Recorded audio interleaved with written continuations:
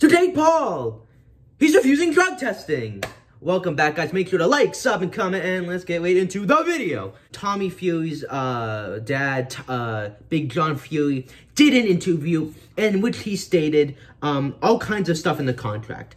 You've got to do this, and you've got to do that. I could go into it more and more, but I don't want to bore people with the politics. They wouldn't sign up to the VADA testing as well. That bothered me a little bit because I wanted that in the contract. Now, Jake Paul has had a weird history with drug testing and with, you know, commissions and all that stuff because if you remember back in the Woodley fight, many people accused Jake of taking PEDs, and Tyron Woodley even said this in their face-to-face. -face. Now, Paul took part in drug testing for his last fight, but it was on behalf of the Ohio Athletic Commission, not the recognized Voluntary Anti-Doping Association. Jake's um, results came back negative. Um, now, I, I don't know if he's using PEDs or not. I, I know that he's had bad acne going back to his YouTube days.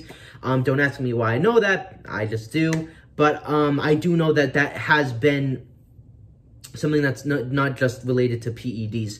Now, why is he not uh, requesting VEDs? Well, he might try and do something similar when he's in Miami and do it on behalf of the Miami Athletic Commission. And he might try doing it um, not using VADA. I'm not sure if you can. I, I I'm pretty sure that you can do testing through stuff that's on the VADA. But, you know, Deontay Wilder, Canelo, I mean, every boxer pretty much uses this. So I am going to be suspect and be like, hmm. But I, I just don't know why he would want the to not get tested, to not sign up for VA, VADA testing. It's a little suspect, and I have to raise my eyebrows um, because, you know, th th this is the kind of stuff that we don't want to see, right?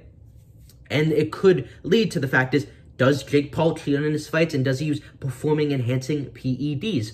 Maybe, maybe. Now, Jake might come out and say, oh, this and that, and he might try and make some kind of convoluted excuse, but I think we should stay on Jake and we should really question why has he not signed up for VADA testing, because that is very concerning, and, um, you know, I, I, I don't know why he would even need that because, I mean, he's beaten so many people. So, I, again, I don't know. And this is a, a, a, a, groundbreaking, breaking news alert story.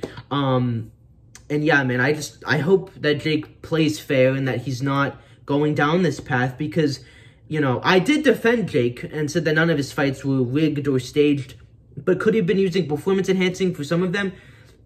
I mean, since the controversy, maybe the, the Tyron Woodley fight, but um, I, I'm not 100% sure on that one. But anyways, guys, that's the video. Um, and let me know what you guys think in the comments down below. Peace.